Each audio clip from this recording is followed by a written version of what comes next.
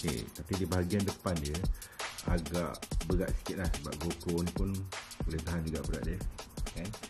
So dia punya bounce tu dia apa uh, nampak lebih sikit lah dia punya ni tak dekat belakang dan dia depan.